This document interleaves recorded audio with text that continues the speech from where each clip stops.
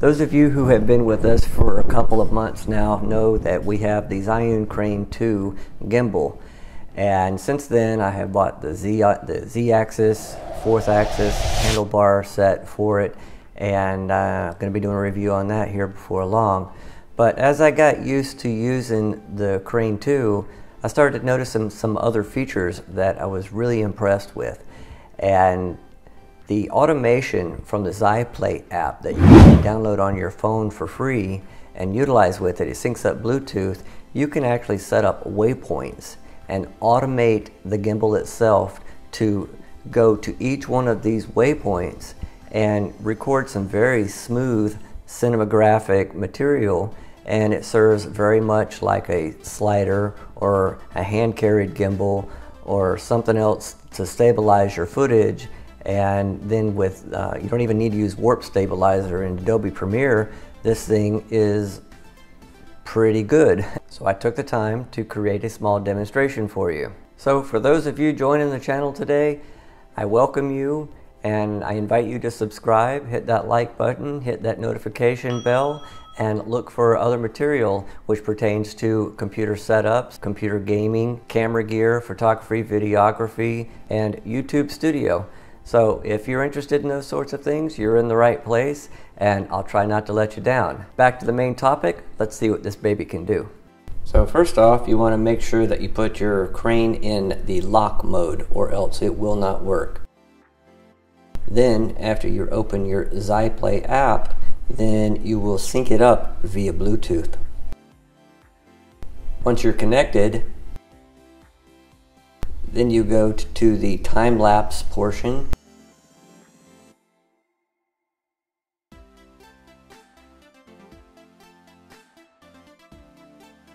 then you will find your first location and then you will add it.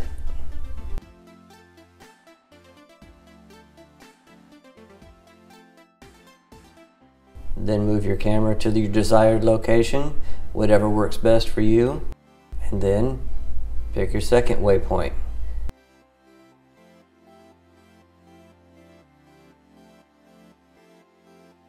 And then you'll continue to do this until you have all of your waypoints set and you're happy with what the production is going to look like.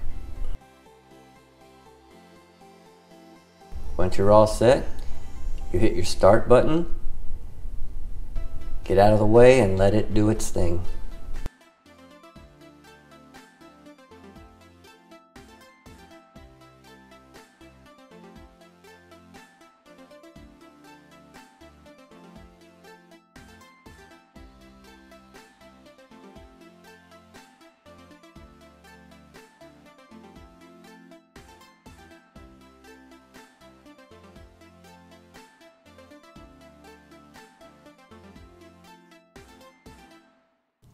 Now that I've shown you a little bit of what the ZyPlay app can do, I've taken 30 seconds of me just sitting here at my desk editing a video and added some color grading and did the cinematographic movements with the smooth movement of the actual gimbal.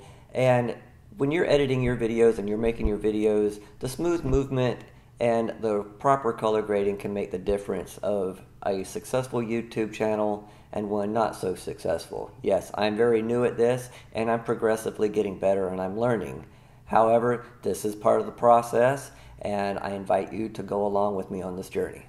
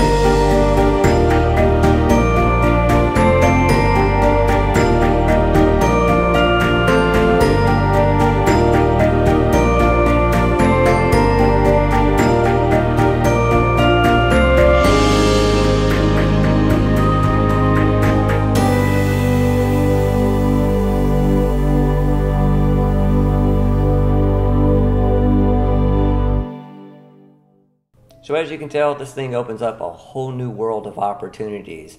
Whether you're an amateur or a professional, whether you have somebody with you or you're alone, this thing is so versatile that it can create some very smooth cinematographic material for you and let you automate it and create pretty much anything that you want in your creative mind. I've gone to the internet and I've watched YouTube videos, and many people only show the gimbal's ability to record smooth footage, which is basically and primarily what it was designed for.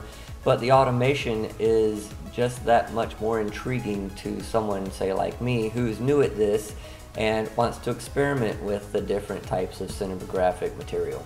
And yes, gimbals are wonderful for walking, running, maneuvering over obstacles, and so on and so forth, which is why you watch most of the videos. That's what everybody's primarily doing.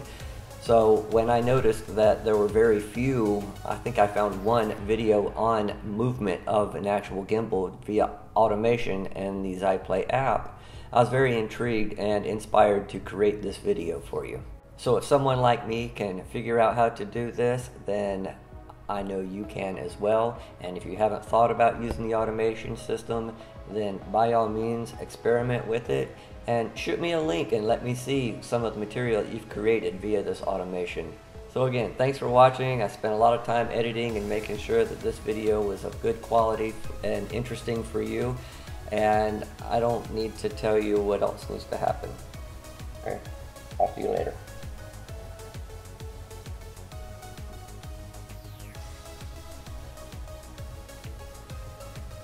go now. Get out of here. See you later.